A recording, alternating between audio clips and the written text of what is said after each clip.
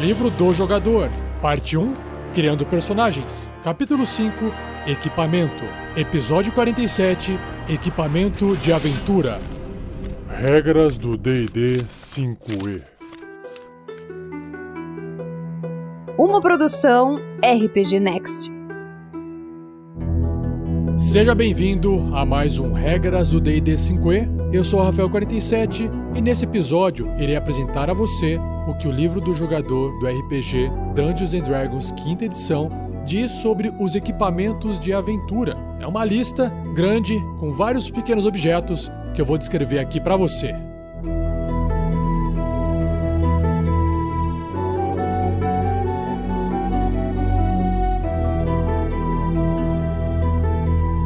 Seja você também um guerreiro ou uma guerreira do bem. Para saber mais, conheça nossas metas e recompensas na campanha do Padrim em www.padrim.com.br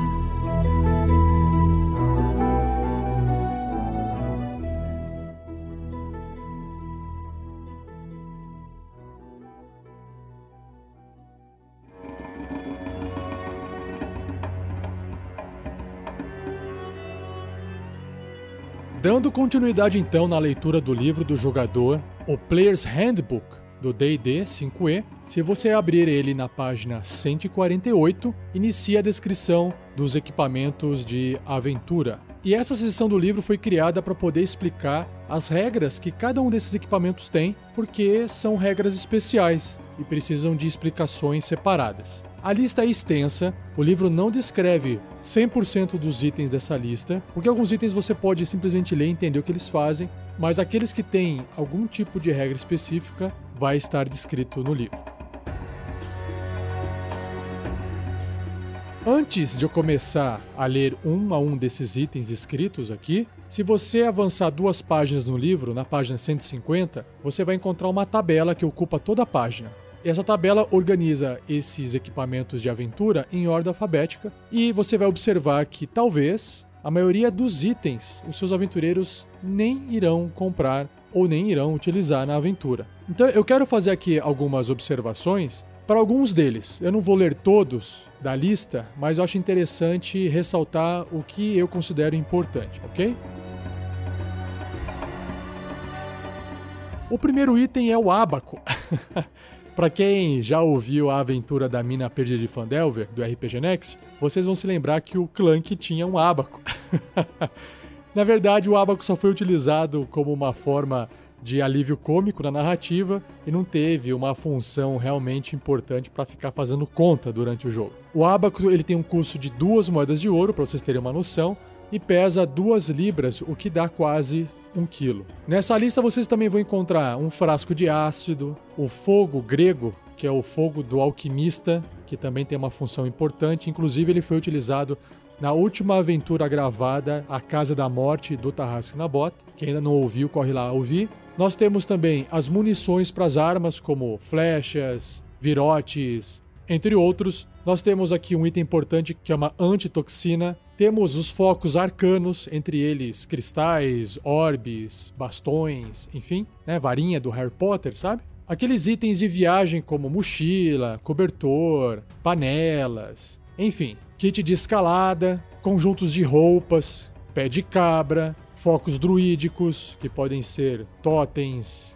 um bastão de madeira ou até um, um, tipo de varinha, símbolos sagrados que podem ser amuletos, emblemas, enfim. Água benta, só para vocês terem uma noção, custa 25 moedas de ouro uma água benta. Relógio solar também custa 25 moedas de ouro. Aí nós temos as partes das lanternas, né? Tochas, lâmpadas, lanterna olho de boi, por aí vai. Por exemplo, uma lupa custa 100 moedas de ouro. É um item bem caro. Aí a gente passa por alguns papéis, outros itens como, por exemplo, veneno, que é um frasco que custa 100 moedas de ouro, um livro de magia que custa 50 moedas de ouro por causa do material, e aí tem um item aqui que é a luneta, o Spyglass, que custa mil moedas de ouro. Caríssimo, não?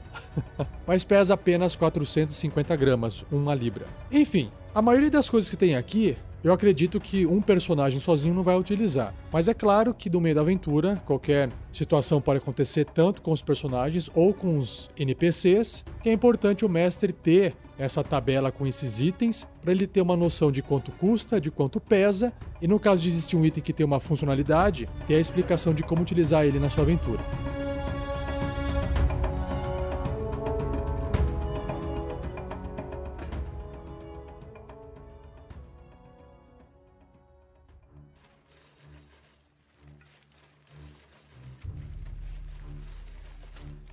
Então, o primeiro que ele descreve, ele pula o ábaco e vai direto pro ácido. Ele diz assim: usando uma ação, o seu personagem pode despejar o conteúdo desse vidro, que tem ácido, em uma criatura a até um metro e meio de distância dele. Esse um metro e meio é aquele um quadradinho. É como se ele estivesse fazendo um ataque. Ou arremessar esse vidro até 6 metros de distância, quebrando no impacto, claro. Em ambos os casos, o seu personagem deve realizar um ataque à distância contra uma criatura ou objeto, se ele estiver mirando no objeto. E vai tratar esse ácido como sendo uma arma improvisada. O que significa isso? Que não vai ter proficiência ao atacar com essa arma. Caso ele acerte o alvo, vai causar lá aquele dano de 1d4 de arma improvisada por causa do impacto. E aqui diz que se você acertar o alvo com o ácido, ele vai sofrer 2d6 de dano ácido, porque vai corroer aquela pessoa ou aquele objeto.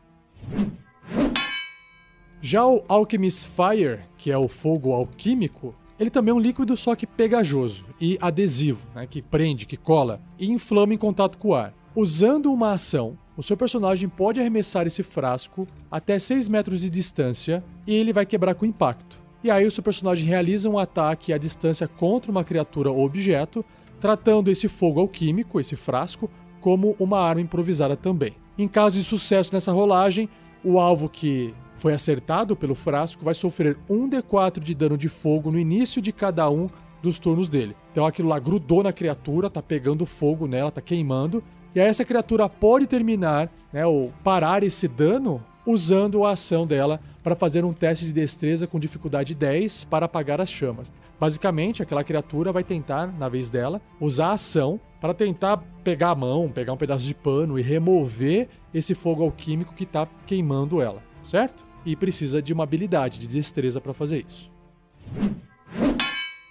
O próximo item é a antitoxina ou antídoto, né? Uma criatura que beber o líquido desse frasco, desse vidro, tem vantagem em teste de resistência contra venenos por uma hora. Esse antídoto não confere nenhum benefício para mortos-vivos ou constructos, que são dois tipos de criaturas, por motivos óbvios, porque eles estão mortos, né? não são vivos. O interessante é que, como ele concede vantagem no teste de resistência contra venenos por uma hora, significa que o seu personagem, quando for fazer um teste de resistência que tem que rolar um dado de 20 faces, ele vai rolar dois dados e vai escolher o maior resultado. Ou seja, ele vai ter uma chance muito maior de conseguir resistir a um veneno que está afetando ele. O próximo item é o Arcane Focus, ou foco arcano. Que, que, significa isso? Ele é um item especial. Pode ser uma orbe, um cristal, um bastão, um cajado especialmente construído, uma varinha mágica de madeira ou algum item semelhante, projetado para canalizar o poder de magias arcanas. Então, um feiticeiro, um bruxo ou um mago podem usar esse item como um foco de conjuração, conforme descrito no capítulo 10, que eu vou falar isso em episódios futuros. Lembrando que se o seu personagem arcano não possui um foco arcano para poder canalizar esse poder dele para fazer as magias, provavelmente ele estará usando um kit, uma bolsinha com componentes mágicos para poder fazer as magias, certo? Só para vocês terem uma noção, um cristal, por exemplo, aqui na tabela custa 10 moedas de ouro e pesa 1 libra, 450 gramas. Uma orbe custa 20 moedas de ouro e pesa 3 libras. Então você pensa, qual que é a vantagem de ter uma orbe ao invés de um cristal se a orbe é duas vezes mais cara e três vezes mais pesada? Olha, aí é uma questão de roleplay, né? É uma questão de você escolher porque, por que, que a orbe é mais cara? Porque a orbe é maior, então ela tem mais material, então ela tem um valor de mercado maior. Para efeitos mágicos não vai fazer diferença nenhuma. Sobre um bastão curto, né, um rod, ele pesa 2 libras, custa 10 moedas de ouro um bastão, como se fosse um bastão de madeira ou bem feito, né? Aquele bastão do Gandalf, sabe? O staff. Custa 5 moedas de ouro, ou seja, é o mais barato. Inclusive, ele não poderia ser utilizado como arma porque uma arma é um quarter staff. O staff ele é mais fino, ele é mais frágil e não tem eficácia para usar como arma, ok? E aí nós temos a varinha, que é a clássica, que custa 10 moedas de ouro e pesa uma libra, que também são 450 gramas. O próximo se chama Ball Bearings, que são esferas de metal. O pacotinho vem mil esferas. E aí o seu personagem, quando usa a ação dele, ele pode despejar essas esferas miudinhas, pequenininhas, de metal, para cobrir uma área de um quadrado de 3 metros de lado. Basicamente, vai ser 2 quadrados por 2 quadrados no mapa, ou 10 pés por 10 pés. E aí uma criatura que estiver se movendo dentro dessa área tem que ser bem sucedida em um teste de resistência de destreza com dificuldade 10 para não cair no chão. Sabe aquelas bolinhas que nos desenhos animados os personagens pisam e aí escorregam e caem? é isso aí. E uma criatura que mover por essa área cheia de bolinhas usando metade do deslocamento dela não precisa fazer o teste de resistência. Por quê? Porque ela está andando devagarinho, tomando cuidado para não escorregar, certo? Aí você tem que ver na situação da aventura se a criatura que vai entrar nessa área com essas bolinhas, se ela conseguiu enxergar ou não essas bolinhas. Por exemplo, ah, tá de noite no escuro. E aí ela não tá enxergando, ou ela tem que fazer um teste de percepção. Também tem que pensar assim, ah, eu joguei isso na grama. Pô, as bolinhas no meio da grama não vai vão afundar, não vai fazer diferença, então não funcionam talvez tenham que ser utilizadas apenas num piso que é resistente e liso. Né? Tem que usar o bom senso. o próximo se chama Block and Tackle, que é roldana e polia, ou seja, é um conjunto de roldanas com um cabo entre elas e um gancho para fixar os objetos. A roldana e a polia permitem içar até quatro vezes o peso que você ergueria normalmente seja, seu personagem lá é forte e vocês precisam erguer uma grade que é muito, muito pesada e que o guerreiro mais forte de vocês não tem condições de levantar aquilo lá. Então vocês instalam essa rodana e polia e aí o guerreiro vai lá e puxa a corda, e a corda passa pela rodana e levanta do outro lado o portão, multiplicando a capacidade do peso que ele pode erguer em quatro vezes. Legal, né? O próximo item é um livro e um livro custa 25 moedas de ouro. Olha só o valor alto de um livro, que legal. E claro que ele pode conter poesia, relatos históricos, informações relativas a um campo particular de sabedoria, né, tipo um livro teórico, diagramas e notas sobre engenhocas gnômicas, por exemplo, ou qualquer outra coisa que possa ser representada usando texto ou imagens. Um livro com magias é um grimório, também descrito nessa seção.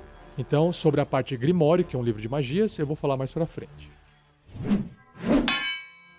O próximo item se chama Caltrops, que são straps. O que, que são straps? São pecinhas pequenas pontiagudas que têm quatro pontas, que três param no chão e uma fica para cima. São pequenininhas, coisas espinhudas. Então é um saquinho que contém várias delas. Usando uma ação, seu personagem então pode espalhar esse saquinho cheio de straps e cobrir uma área de um quadrado de um metro e meio de lado, ou seja, um quadradinho de tabuleiro ali no mapa que tem cinco pés por cinco pés. Qualquer criatura que entrar nessa área deve ser bem sucedida em um teste de resistência de destreza com dificuldade 15. Se ela falhar nesse teste, significa que ela vai pisar num desses negocinhos vai perfurar o pé. Então ela vai sofrer um de dano perfurante. E aí, até que a criatura recupere pelo menos um ponto de vida, o deslocamento dela de caminhada é reduzido em 3 metros porque aquilo lá machucou o pé dela e ela fica com aquilo enterrada no pé ou fica muito machucada e não consegue andar direito. Fica mancando ao andar. Uma criatura que se mover pela área usando metade do deslocamento não precisa fazer o teste de resistência. Então, esse aqui é parecido com as esferas de metal, com a diferença de que a esfera de metal faz a pessoa, a criatura cair no chão, e os straps causam de dano, mas esse 1 de dano não é o mais importante. O mais importante é reduzir o movimento da criatura em 3 metros.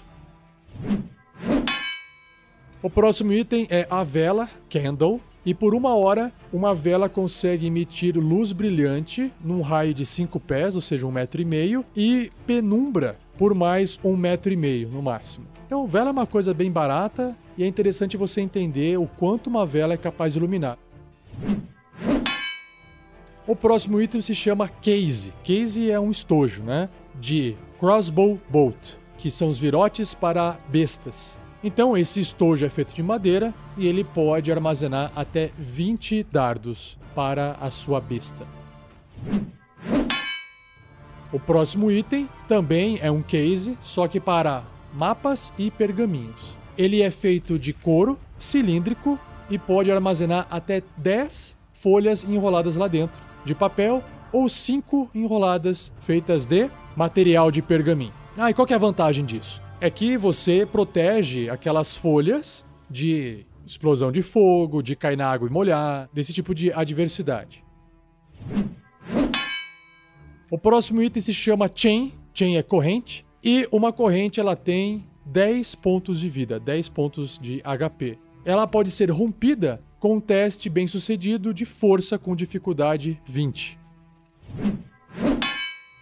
O próximo item é o Climber's Kit, ou kit de escalada. Esse kit de escalada ele inclui pitons especiais, que é como se fosse uns pregões, botas com solas pontiagudas, para que você possa pisar na parede e conseguir subir com facilidade, luvas e um cinto. O seu personagem pode usar esse kit de escalada com uma ação para ancorar-se, né? ficar preso ali. Enquanto ele faz isso, ele não pode cair mais de 7 metros e meio a partir do ponto onde se ancorou. E não pode subir mais de 7 metros e meio de distância desse ponto sem desfazer a âncora. Então ele vai subindo, martela lá o piton, e aí ele passa a corda lá, prende a corda, sobe mais 7 metros e meio, repete o procedimento e assim vai fazendo para poder evitar quedas de alturas mortais, como por exemplo escalar uma montanha ou até uma parede muito alta. O próximo item é o Component Pouch, que é a bolsa de componentes. Lembra que eu comentei desse item no caso do seu personagem não possuir um foco arcano? Então, ele trata-se de uma pequena bolsa de couro à prova d'água que pode ser fixada em um cinto. Ela possui compartimentos para armazenar todos os componentes materiais e outros itens especiais que o seu personagem precisa para lançar as magias, exceto os componentes que possuem um custo específico. Então, se você for ver uma magia e na magia descrever, ah, você precisa de um diamante de 50 moedas de ouro, aquele diamante especificamente não está dentro dessa bolsa de componentes, não vem junto desse kit. Apenas, sei lá, ah, precisa aqui de pó de aranha de não sei da onde. E aí, esse tipo de material que não tem um custo material envolvido, ele já é considerado existir dentro dessa bolsa de componentes. Porque afinal de contas, isso aqui é um jogo de RPG e não é a vida real. o próximo item é o Crowbar, que é o pé de cabra. Quando o seu personagem usa um pé de cabra, ele passa a ter vantagem num teste de força onde o pé de cabra vai aplicar alavanca para poder abrir alguma coisa. Então, abrir uma porta, abrir uma caixa, onde fizer sentido usar o pé de cabra para fazer essa alavanca, você tem vantagem no teste de força. O próximo item é o Druidic Focus, que é o foco druídico. Um foco druídico pode ser um ramo de visco ou azevinho, não, plantas, uma varinha ou cetro de teixo ou de outra madeira especial, um cajado esculpido de uma árvore viva ou um totem adornado com penas, peles, ossos e dentes de animais sagrados. E um druida pode usar tal objeto como um foco de conjuração, que também eu vou descrever isso lá no capítulo 10 para as magias. Próximo item, Fishing Tackle, que é equipamento de pescaria, para quem curte pescar. É um kit que inclui uma vara de pesca de madeira, linha de seda, boias de cortiça, anzóis de aço, chumbadas ou chumbinhos, iscas e rede de pesca. É isso aí, para quem curte pescar dentro do RPG. o próximo item é bem importante, que é o Healer's Kit, ou kit de curandeiro, ou kit de cura, ou até kit de primeiros socorros. Ele é um kit que tem uma bolsa de couro contendo ataduras, pomadas e talas. Esse kit possui material suficiente para 10 usos. Para quem também ouviu a aventura da mina perdida de Fandelver do Tarrasque na Bota, o Sandoval, personagem feiticeiro, ele vivia com um kit desse curando a galera. Então, se você quiser ver esse kit em ação, por muitas vezes ouça essa aventura. Então, o personagem, quando usa a ação dele, ele pode gastar um uso desse kit para estabilizar uma criatura que tenha zero pontos de vida, sem a necessidade de realizar um teste de sabedoria fazendo medicina na criatura. Assim, eu vou falar rapidinho agora, porque isso é uma regra que também eu vou explicar em episódios futuros, mas já vou falar aqui, porque quando uma criatura chega a zero pontos de vida, ela está morrendo. E aí, a cada turno que é a vez dela nesse estágio de estar morrendo, ela tem que fazer um teste de morte. E se ela não passa nesse teste de morte, ela continua morrendo. É como se ela estivesse entrando em choque ou perdendo muito sangue. Então, se alguém quiser estabilizar essa criatura, sei lá, estancar o sangue, ou, sei lá, bombear o coração dela para ela estabilizar, enfim, você tem que fazer um teste de medicina nela. Com esse kit, você ignora esse tipo de teste e você consegue estabilizar ela automaticamente. Próximo item é o Holy Symbol, também um item importante, que é o símbolo sagrado. É, ele é a representação de uma divindade ou um panteão. Ele pode ser um amuleto com o símbolo de uma divindade, um símbolo talhado cuidadosamente ou incrustado com um emblema em um escudo, por exemplo, você tem lá um escudo e está lá aquele símbolo preso, ou até mesmo uma caixa pequena que guarda um fragmento de uma relíquia sagrada.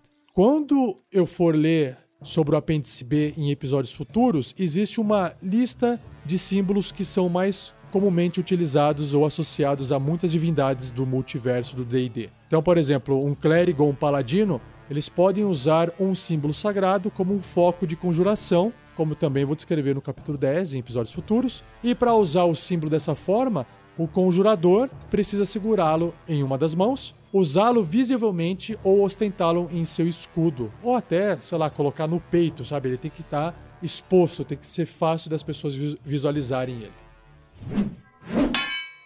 Próximo item é o Holy Water, água benta. Também, se alguém usar essa água benta com uma ação, o personagem pode espalhar o conteúdo do frasco em uma criatura em até um metro e meio de distância dele, ou seja, um quadradinho, ou arremessar o frasco até 6 metros. E aí, esse frasco quebra com impacto, no caso do arremesso, e em qualquer um dos casos, essa água vai espalhar na criatura ou no objeto, e o seu personagem tem que realizar um teste, né, um ataque à distância contra uma criatura alvo ou objeto.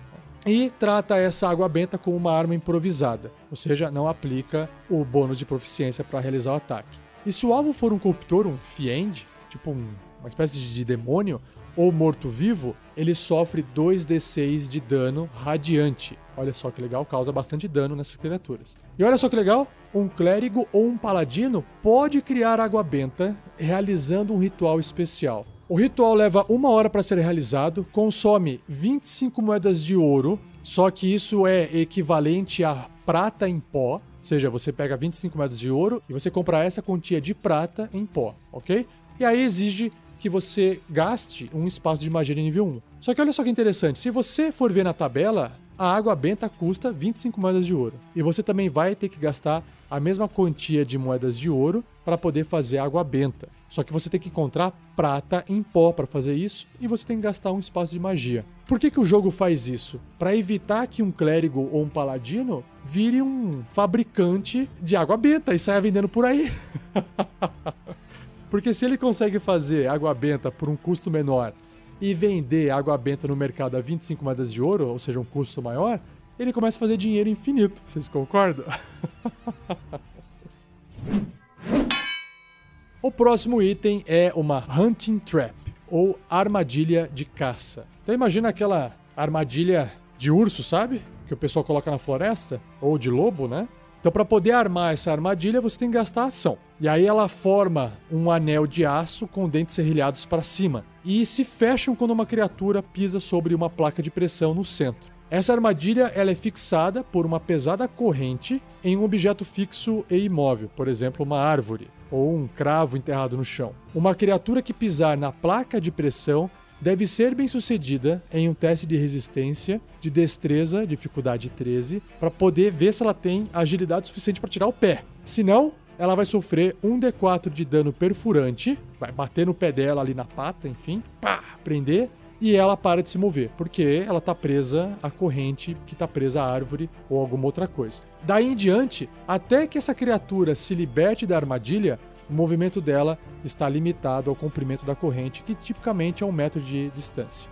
Essa criatura presa pode usar a ação dela para fazer um teste de força, com dificuldade 13, para se libertar. Seja abrir assim com a mão ou enfim usar alguma alavanca para tentar fazer essa para tentar se libertar desse item. Ou outra criatura no alcance pode fazer o teste para libertá-la. A cada fracasso no teste causa um de dano perfurante à criatura presa. Por quê? Imagina que você está abrindo aquela armadilha fazendo força, de repente você falha no teste e escapa. E aí o que ela faz? Ela volta e bate de novo no membro da criatura. E aí causa mais um ponto de dano perfurante. O próximo item é a lâmpada, lamp ou lampião. Essa lâmpada ela emite luz brilhante em até 15 pés de raio, ou seja, 4 metros e meio, e penumbra numa distância adicional de 30 pés, que são 9 metros. Uma vez que você acendeu essa lâmpada, o óleo que tem dentro do frasco dela vai queimar por 6 horas. E consome todo esse óleo, que é mais ou menos 500 ml, meio litro. O próximo item se chama Lantern Bullseye, lanterna furta-fogo. Ela lança luz brilhante ou luz plena num cone para frente. Esse cone tem 60 pés ou 18 metros de distância e penumbra por mais 18 metros. Então é bem eficiente na parte de iluminar. E uma vez que você acendeu essa lanterna, ela também vai queimar por 6 horas usando um frasco de meio litro de óleo. A outra lanterna é a Lantern Hooded, que é a lanterna coberta. Ela lança luz plena, ou luz brilhante, num raio de 9 metros e penumbra por mais 9 metros. Se ela for acesa, ela também vai queimar por 6 horas usando meio litro de óleo. E usando uma ação, o personagem pode abaixar a cobertura que ela tem, reduzindo a claridade para penumbra em um raio de um metro e meio no máximo. Basicamente é, você tem lá um item que está iluminando, de repente você quer, opa, pessoal, é, apaga a luz aí porque ninguém pode ver a gente. Aí baixa a cobertura da lanterna e aí você para de emitir aquela luz. Claro que de longe dá para ver bem pouquinho, né? Então depende muito da narrativa que o mestre vai trazer para a aventura. O próximo item é lock, é uma fechadura ou um cadeado, e claro que ele vem com uma chave. Sem essa chave, uma criatura proficiente com ferramentas de ladrão pode abrir a fechadura ou cadeado com sucesso em um teste de destreza com dificuldade 15. O mestre pode decidir que fechaduras melhores estão disponíveis por preços mais elevados no mercado. O que significa uma fechadura melhor? É aquele que precisa de um teste de destreza com uma dificuldade maior para poder ser aberto. Nós temos agora o Magnifying Glass. Glass é vidro, né? Vidro que aumenta, ou seja, uma lente de aumento, ou uma lupa. Essa lente permite ver pequenos objetos mais de perto. Uau!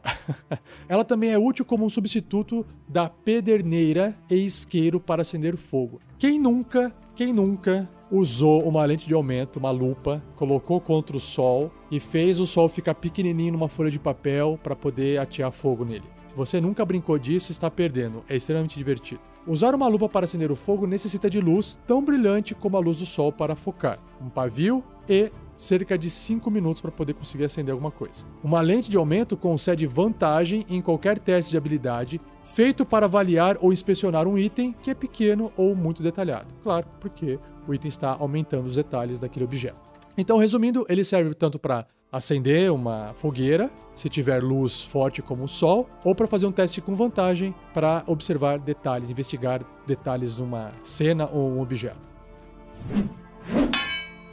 Nós temos agora manacles, que são algemas. Essas algemas de metal podem prender uma criatura pequena ou média. Escapar dessas algemas exige um teste de destreza com dificuldade 20. Quebrá-las exige um teste de força de dificuldade 20. E cada conjunto de algemas vem também com uma chave. Sem a chave, a criatura proficiente com ferramenta de ladrão pode tentar abrir a fechadura das algemas com sucesso de destreza, dificuldade 15. E também as algemas têm 15 pontos de vida, se você quiser bater nela para quebrar. Eu também acho que aqui vale aquela regra do cadeado, da fechadura, que podem existir no mercado algemas de melhor qualidade que vão ter uma resistência maior a serem destrancadas ou até serem arrebentadas. Nós temos agora o Mess Kit, que é o kit de refeição. É uma caixa de metal que contém um copo e talheres simples. Essa caixa ela se desmonta no meio. Um lado pode ser utilizado como uma panela para cozinhar e o outro pode ser usado como um prato ou uma tigela rasa. Então, é um kit bem interessante para você poder fazer as suas comidas durante as suas aventuras. O próximo é um item bastante útil, que é o óleo, né, usado em várias situações. E o óleo geralmente vem em um frasco de argila que contém meio litro usando a ação, ele pode espirrar o óleo desse frasco em uma criatura que esteja até um metro e meio de distância dele, ou seja, um quadradinho de distância, ou arremessar o frasco até 6 metros de distância e que vai quebrar com o impacto. O seu personagem então faz a mesma coisa que eu já falei de todos os outros frascos. Ele faz um ataque à distância contra uma criatura ou objeto, você trata esse óleo como uma arma improvisada, e aí, com sucesso, o alvo é coberto de óleo. E se esse alvo sofrer qualquer dano flamejante antes do óleo secar, que é mais ou menos um minuto, a criatura sofre 5 de dano flamejante adicional pela queima do óleo. Então, de repente, lá você tirou uma flecha com fogo, ele vai sofrer 5 de dano a mais. Você jogou uma bola de fogo ou fez uma mãos flamejante em cima dele, também ele vai sofrer mais fogo, né? mais dano por fogo. Ou se você empurrar ele em cima de uma lareira, enfim, ele pode atear fogo e sofrer esse dano. que mais? O personagem também pode derramar um frasco de óleo no chão para cobrir uma área de um quadrado de um metro e meio por um metro e meio, ou seja, um quadradinho de cinco pés, desde que a superfície esteja nivelada, senão o óleo vai escorrer. Se é aceso, esse óleo vai queimar por duas rodadas e vai também causar 5 pontos de dano de fogo a qualquer criatura que entrar na área ou terminar o turno dela dentro dessa área. E uma criatura pode sofrer esse dano apenas uma vez por turno. Ou seja, não adianta ficar tirando ela e colocando de volta no fogo, que ela não vai ficar sofrendo 5 de dano toda vez. Isso é para poder evitar esses jogadores espertinhos que gostam de fazer aí quebras das regras para poder matar, sei lá, um vilão super poderoso porque fez o vilão entrar e sair 300 vezes desse óleo pegando fogo. o próximo é o Poison Basic ou Veneno Básico. Seu personagem pode usar o veneno contido nesse vidro para cobrir uma lâmina de uma arma cortante ou perfurante ou até três peças de munição, sei lá, três flechas. Aplicar o veneno leva uma ação. Uma criatura atingida pela arma ou munição envenenada deve obter um sucesso em um teste de resistência de constituição com dificuldade 10 ou sofrerá um D4 de dano de veneno. E uma vez aplicado, o veneno retém essa potência durante um minuto antes de secar. É claro que aqui eu estou falando de um veneno básico, por isso que ele causa só um dano a mais na pessoa. Tem venenos que vão trazer outros tipos de malefícios para quem tiver isso aplicado dentro dele. O próximo item é um item muito, muito importante e é a Potion of Healing, ou Poção de Cura. E um personagem que beber esse fluido vermelho mágico, ele ganha 2d4 mais 2 pontos de vida. E tomar ou administrar essa poção gasta uma ação. Ou seja, não tem essa de vou tomar aqui uma poção e vou atacar na sequência com a minha mão principal. Você até pode atacar se você estiver segurando na sua offhand, na sua mão menos habilidosa, uma arma leve. Você usa sua ação bônus para atacar, enquanto você toma a poção com a ação principal. Agora nós temos a algibeira. É uma bolsa de pano ou de couro que pode armazenar até 20 munições de funda que é o sling, ou 50 munições de zarabatana, entre outras coisas. Para armazenar componentes de magia, você tem que ver aquele item que eu já descrevi, que é a bolsa de componentes, certo?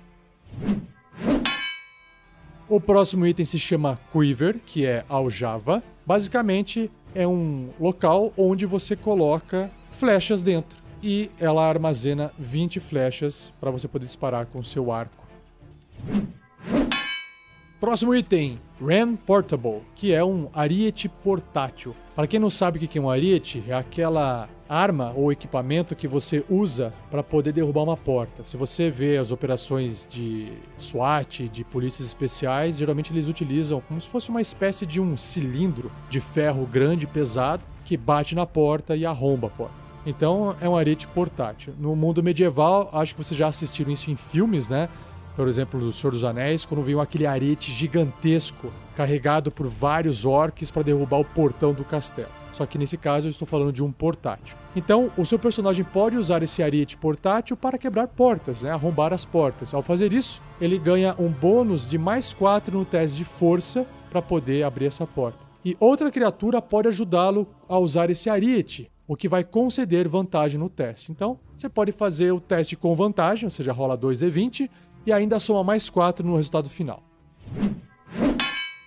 O próximo item é muito importante também, que são as rations, que são rações de viagem. Rações de viagem consistem em alimentos desidratados adequados para viagens longas incluindo carne seca, frutas secas, bolachas e nozes. Por que, que é importante isso? Porque o seu personagem não pode viver a vida de aventura dele sem comer. Ou ele vai ter que caçar, ou ele vai comer uma ração de viagem. Senão ele vai começar a ter que fazer teste de exaustão e vai acumular pontos de exaustão se ele não passar no teste, o que pode levar ele à morte. E só para vocês terem uma noção de preço, uma ração não é cara, é tipo uma refeição, ela custa 5 moedas de prata. E isso alimenta o personagem por um dia. No entanto, são 2 libras de peso, ou seja, 900 gramas de comida desidratada. Então, a hora que você coloca água nisso, fica um volume grande para você poder carregar na sua aventura. E como o item de água não está descrito na lista, porque água é água, só para você saber que o water skin é aquela pele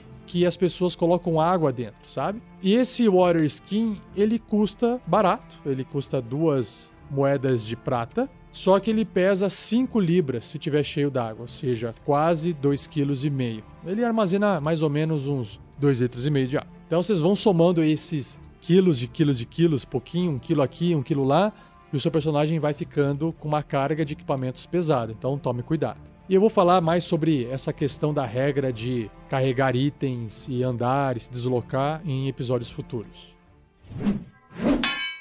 Continuando, nós temos aqui a corda, rope. E ela também é muito útil porque a gente pode fazer várias coisas com uma corda, né? Ela é feita do quê? De cânhamo ou de seda. Ela tem dois pontos de vida e pode ser arrebentada com um teste de força de dificuldade 17. E claro que você pode usar cordas de tamanhos diferentes, mas o padrão é de que a corda tem 50 pés, o que equivale a mais ou menos 15 metros de comprimento. A corda de cânhamo custa uma moeda de ouro. E a corda de seda custa 10 vezes mais. 10 moedas de ouro. É porque a de cânhamo pesa duas vezes mais. Ela pesa 10 libras, ou seja, 4,5 kg. Enquanto a de seda vai pesar metade disso. Então você vai ter que gastar mais dinheiro se você quiser que o seu personagem fique mais leve.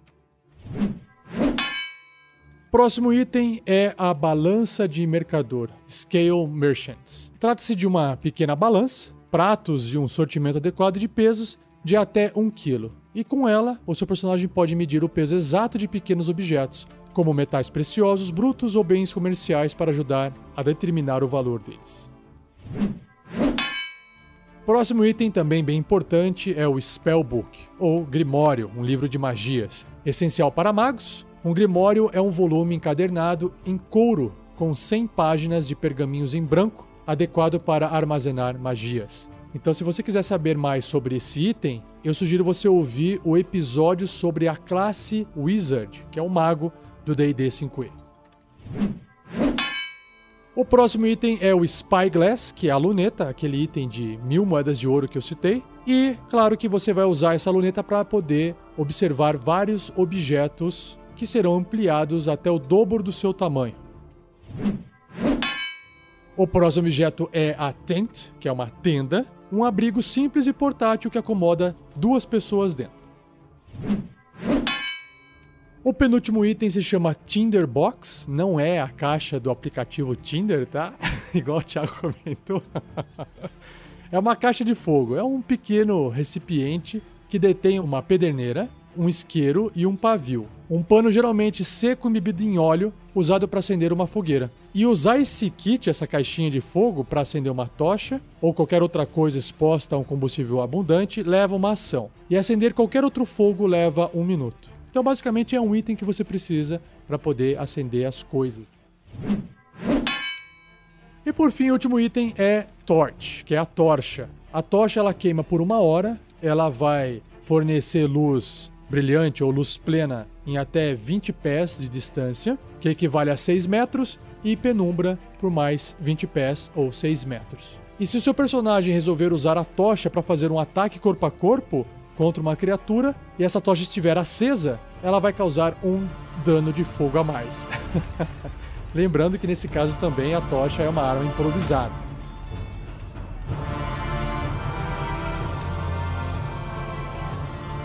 Bom, Terminei aqui a descrição dos principais itens daquela tabela, só que o livro ainda apresenta mais duas coisinhas que são importantes também. Ele tem um box de informação que apresenta os equipamentos packs, que são os pacotes de equipamento, que basicamente é o equipamento inicial que o seu personagem recebe quando A classe dele inclui uma coleção de equipamentos úteis para se aventurar. Então, ao invés de você comprar itens separados, você compra um kit, porque aí já vem vários itens juntos. E aí o conteúdo desses pacotes está listado nessa área do livro. Então, se o seu personagem for comprar esse equipamento inicial, ele pode adquirir um pacote pelo preço apresentado, o que pode ser mais barato do que comprar os itens de forma individual. O primeiro é o Burglar's Pack, que é o pacote do assaltante.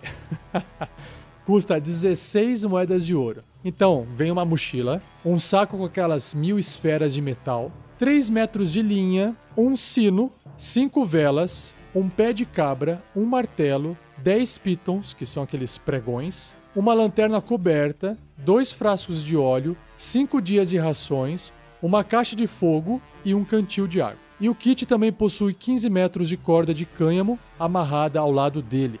Reparem que esses 3 metros de linha e um sino devem ser utilizados para ele poder fazer algum tipo de aviso caso alguém esteja chegando perto de onde ele está escondido ou dormindo. E a lanterna coberta também sugere que ele quer andar por aí e passar o mais desapercebido possível, porque se trata de um pacote de assaltante.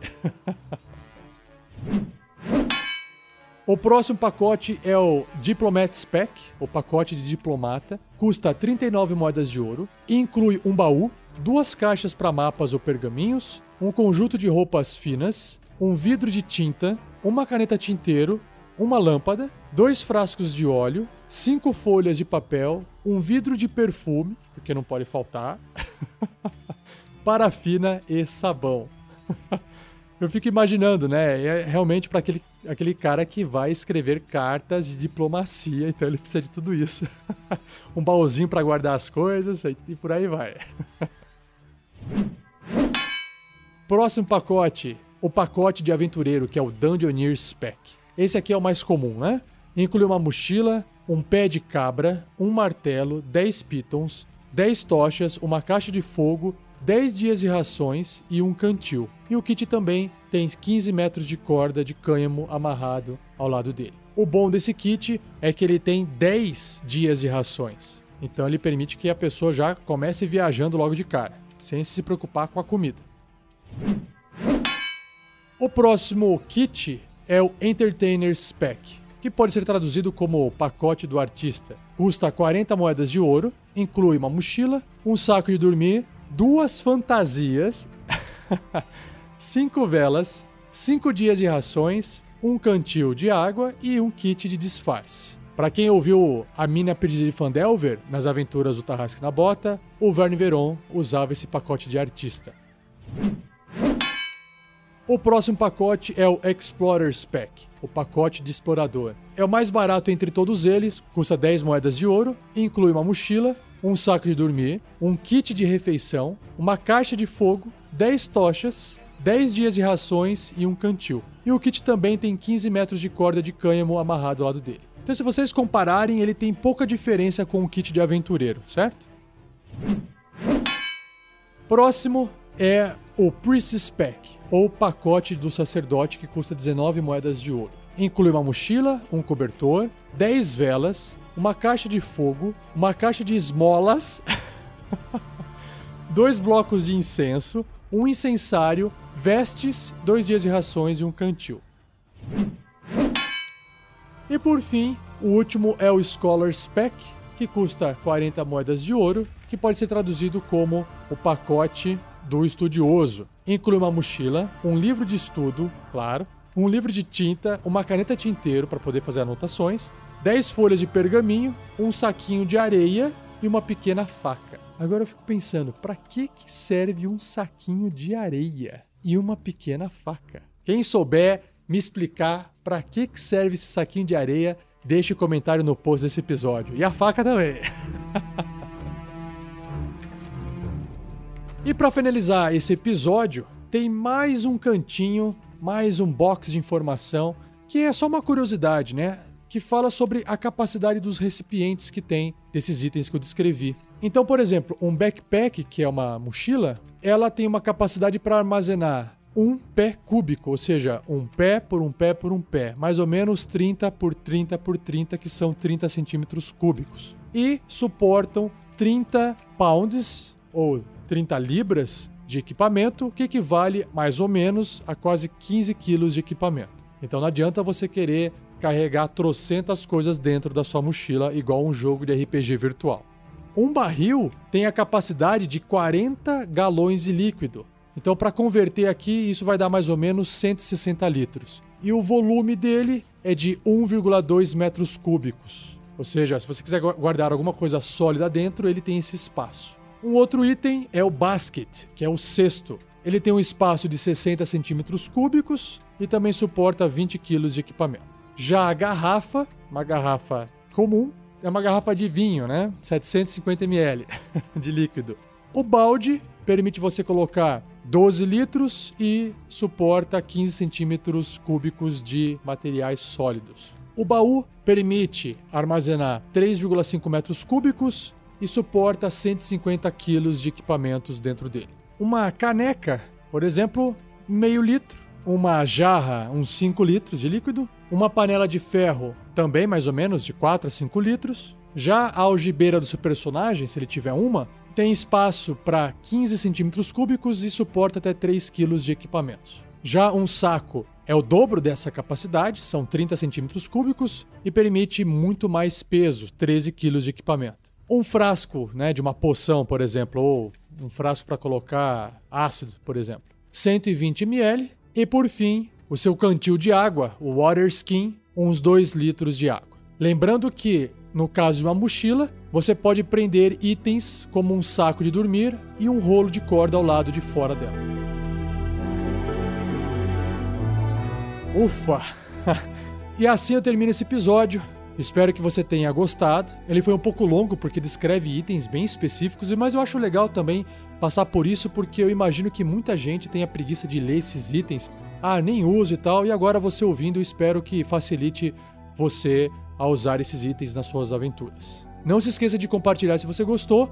Continue a discussão desse cast no post do episódio. E se você assina o nosso feed do iTunes, passe lá e faça um comentário. Se puder, deixar cinco estrelinhas ou que você achar que vale o nosso podcast, vai ajudar bastante a ele ser encontrado por outras pessoas que gostam do mesmo assunto. E claro, não perca o próximo episódio, onde irei abordar sobre as ferramentas, montarias e veículos do DD 5E. Beleza? Muito obrigado, um abraço e até o próximo episódio.